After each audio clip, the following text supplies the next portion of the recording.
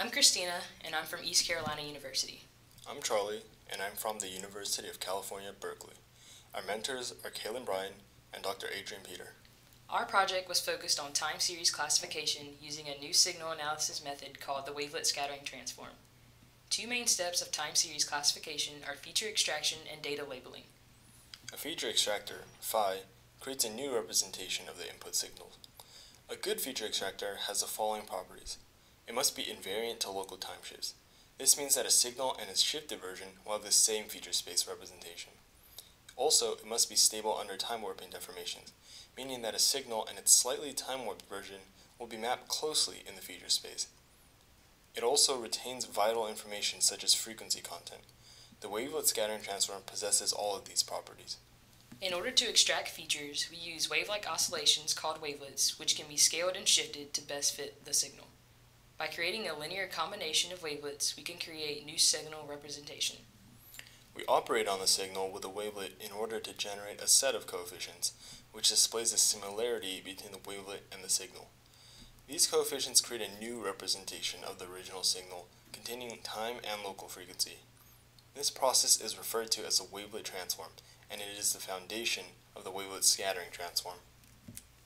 We take our original signal and slice a portion of window size t to compute the scattering coefficients. First, the signal is filtered with a low-pass filter, phi, which yields an averaging of the signal and provides invariance to local time shifting. The second step is to create a new signal representation by filtering the signal again with a high-pass filter psi and taking the modulus. High-pass filtering retains detailed information about the signal, which is often lost by other feature extraction methods.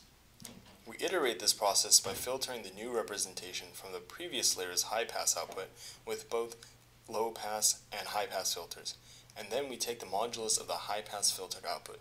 This process continues for the desired number of layers. The output of low-pass filtering yields the scattering coefficients that represent the signal at every layer.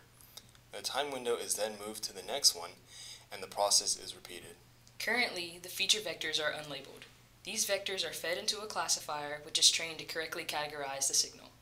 One classifier that can be used for data labeling is k nearest neighbors, where k is some input integer specifying the number of nearest training data points to compare our feature vectors to. The majority vote is used to obtain the class label, and this process is repeated for each feature vector. We applied the wavelet scattering transform with the k nearest neighbors classifier to several UCR time series datasets and obtained the following accuracies. Our experiments showed that the wavelet scattering transform is a promising feature extractor for time series classification, but more testing is required to confirm its viability. Looking forward, changes to the type of wavelet, number of layers, and type of classifier can be explored to better assess performance.